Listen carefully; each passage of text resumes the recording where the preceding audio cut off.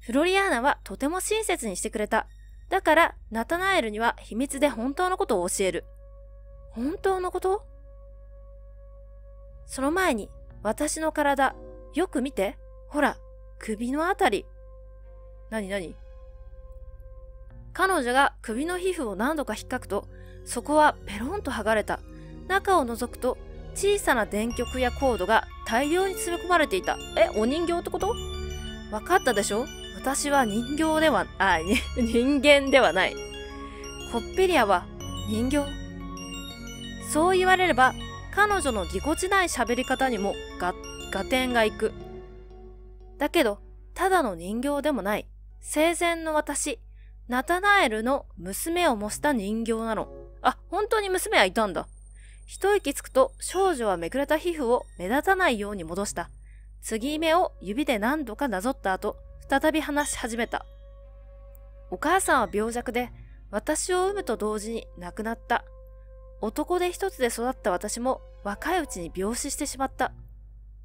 その後、娘の死を受け入れられない、受け入れられない父は、娘を模した人形を作った。娘の内臓を抜き取り、剥製にして体内に機械を埋め込んだのだ。えー、じゃあ半分は本物ってこと？彼は人形を失った娘の代わりに毎日話しかけた。悲しみは言えなくとも支えとなるものはできた。だがそれでは満足できなくなり、人形に命を吹き込もうと目論んだ。研究のために夜も眠らず、時には食事さえも取らず。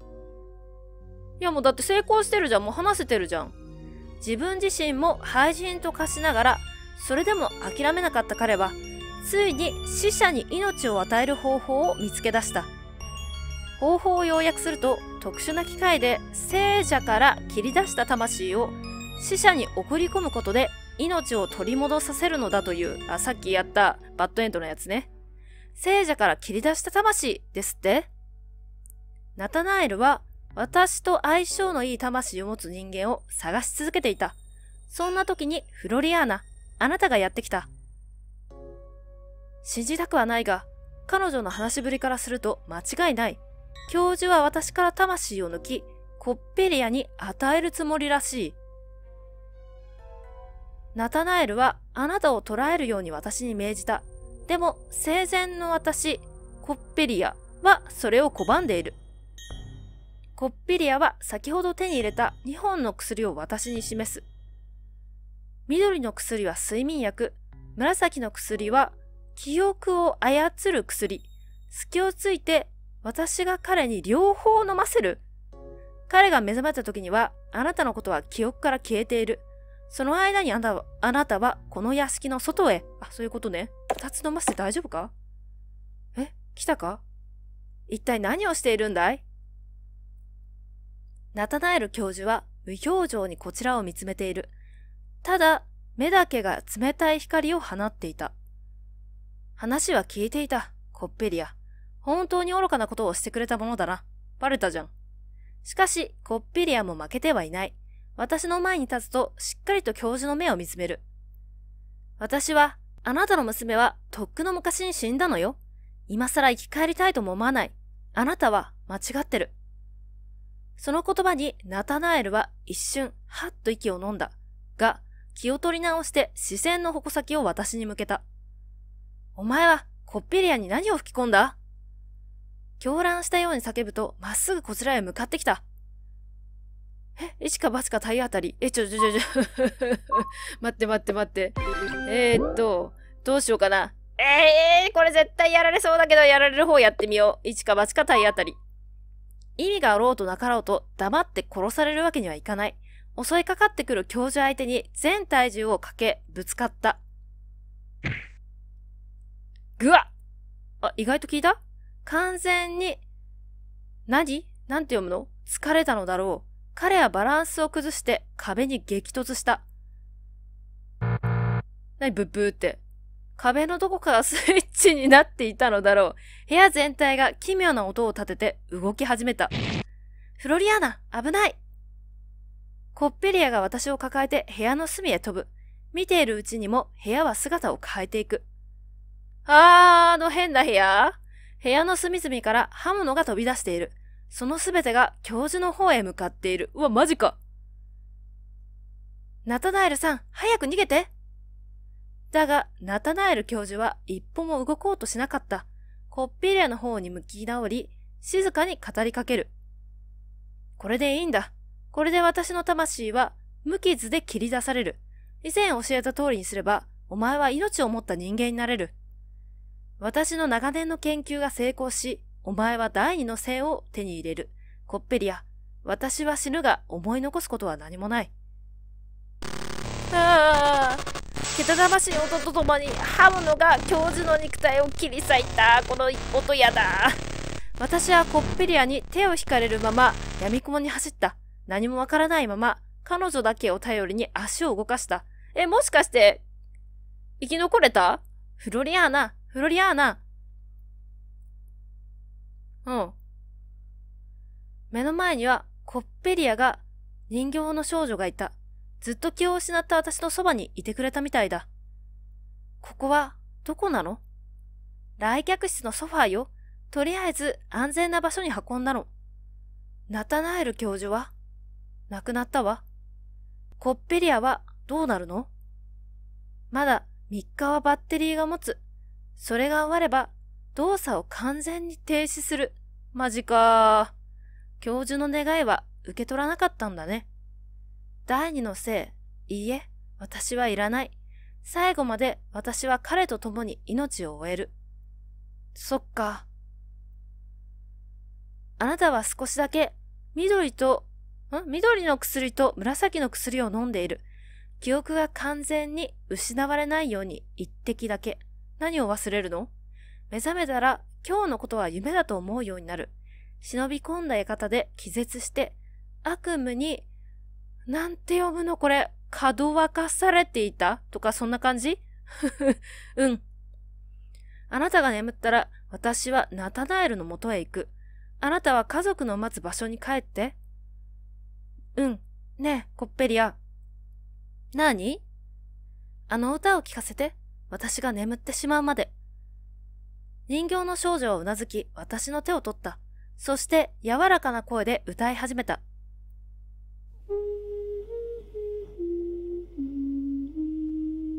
おー、エンディングだあれ、意外と死なない方向性でいけたな。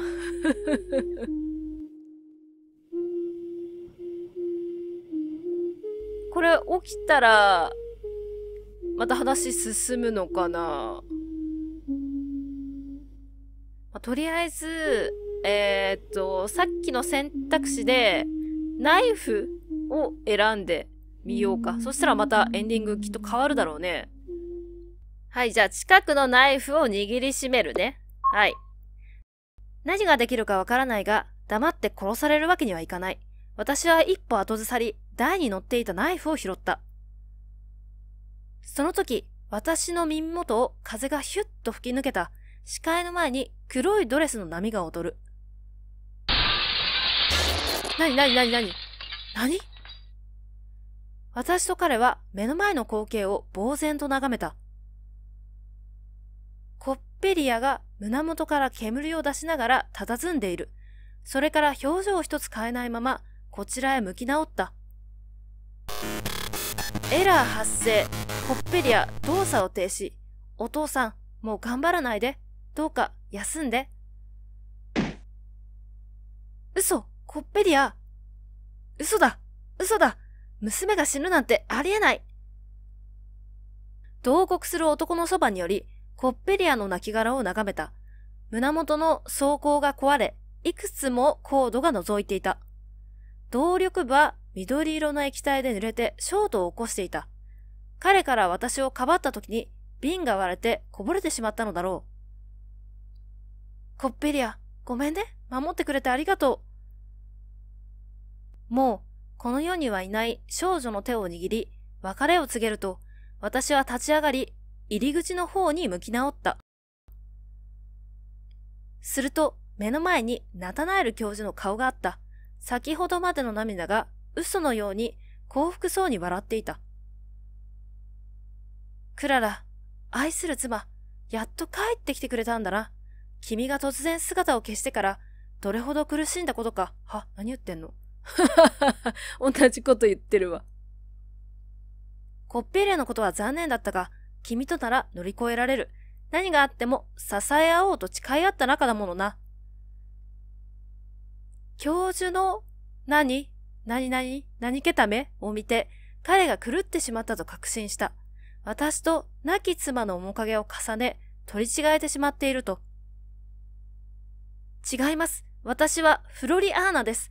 あなたの奥様はもうお亡くなりになったはず。何をわけのわからないことを言っているんだ？さては眠りすぎておかしくなったんだな。彼は壊れた人形から紫色の薬瓶を抜き取ると、私の口元にぐいぐいと押し付けてきた。これでぐっすり眠れるはずだ。そして目が覚めたら、すべて元通りだ。抵抗虚しく口に冷たい液体が流し込まれる。次第に頭はぼやけ、意識を失ってしまった。クララ、起きなさい。もう朝だよ。でも記憶は改変されてないよね。眠い目をこすりながら起きると、夫が窓辺で微笑んでいる？朝が良い私と違って相変わらず彼は早起きだ。どうなってんの？いやよ。私、まだ眠っていたいもの。心配なんだ。君がまた目を覚まさなくなるかと思うと。私はコッペリアが死んでしまったショックで何年も目を覚まさず寝たきりになっていたらしい。久しぶりに目を覚ました時にナタナエルの口からそう聞かされた。泣き虫の彼を長い間一人ぼっちにしてしまった。え？だったら今日くらい私も寝坊しようかな。あれ、どっちの薬飲んだの？なになになになになにどっちの薬飲んだの？キャ、ナタナエルったら何してるのよ。いいじゃないか別に。私たちは夫婦だろ？え、なになに何が始まんの？仕方ないわね。わかったわよ。今日は一日中こうしてくっついて眠りましょう。寝るだけね。ふふふ。ため息を吐きながら、夫に背を向け目を閉じる。胸の中に渦巻く不穏なざわつきをかき消したくて。え、ど、どういうこと？私は本当にクララなの？クララは本当に生きているの？記憶を失ったのかもしかして。え？どういうことだ？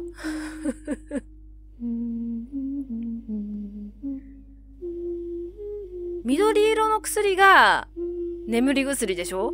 で、紫色の薬が記憶を消す薬だったっけ？それをドバドバ飲んだから、自分が誰かもわからなくなった。みたいな感じなのかな？え、どっちの薬飲んだって言ってた？はい、あと選んでないのって言ったらこれ？下にある棚かな？とりあえずまずは下から探してみましょう。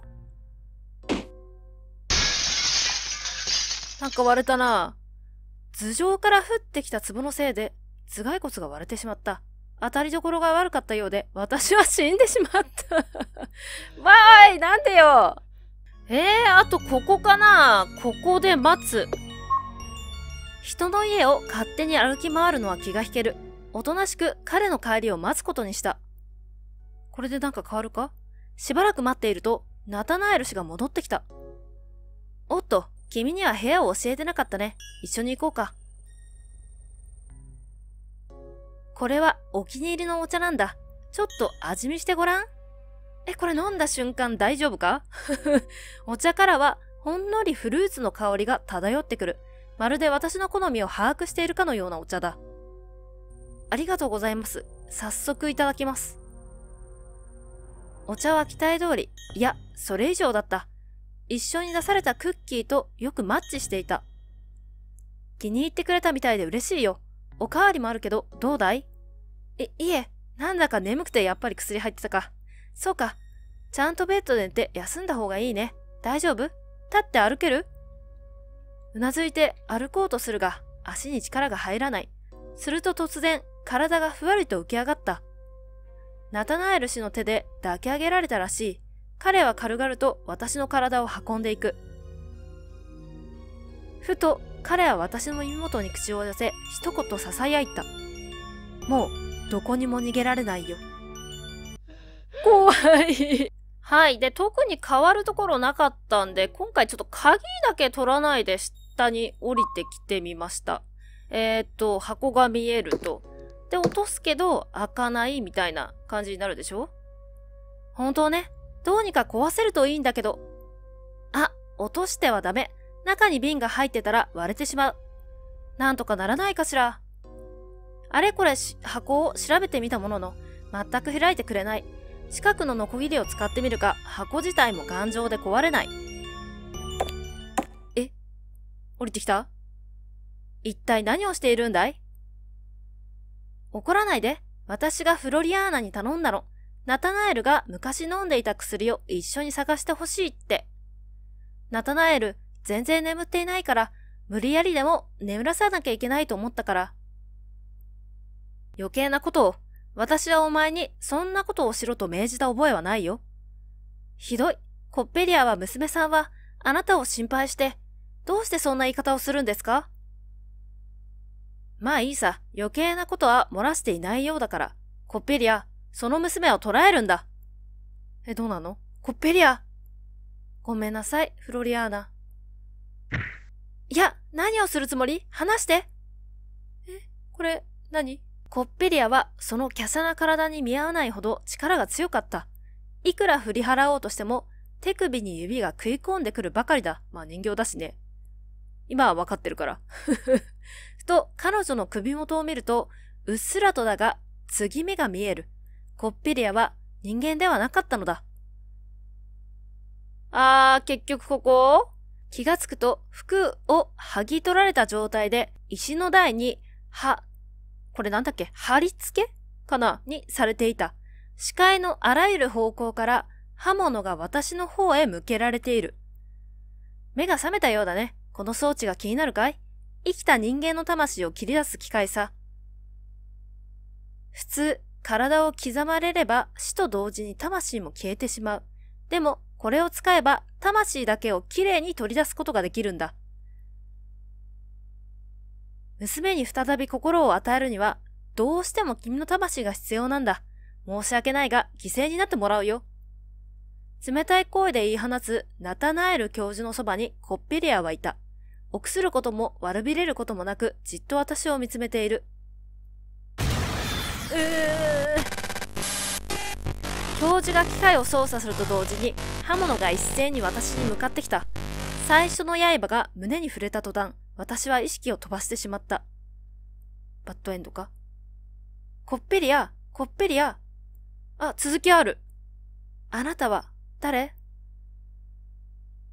何を言っているんだ、コッペリア。ナタナエルだ。お前のお父さんじゃないか。お父さん？ああ、そうだ。お父さんだよ、コッペリア。お前は、クララが自分の命と引き換えに残した私の宝物なんだ。クララ、お母さん。随分と長いこと眠っていた気がする。それにずっと怖い夢を見ていたような。そうだ、コッペリア。これを読んでみてくれ。昔、毎日お父さんたちに聞かせてくれていたように。お父さんは期待に満ちた目で本を手渡してきた。私はうなずくといつものページを開いた。砂男は夜眠らない悪い子の目に砂を塗って盗んでいくよ。だから坊やは早くお眠りなさい。なんかすごい、すごい話だな。お父さんは嬉しそうに何度も何度もうなずいていた。私も嬉しくなって何度も何度も繰り返し読んだ。死者に心を与えるナタナエル教授の研究がついに日の目を見たのだ。一応成功したってことなのかな？うん。これで多分3種類って書いてあったから、全部のエンディング回収できた感じだね。はい。ということで、えー、ご視聴ありがとうございました。私的には、一番最初に見たエンディングがいいかな。お父さんが死んじゃって、娘のお人形ちゃんも、お父さんと最後まで一緒にいるって言って、人間になることを選ばなかったっていうのが、やっぱいいかなって思いますね。はい。ということで、ドールハウスでした。よかったら他の動画も見に来てね。バイバーイ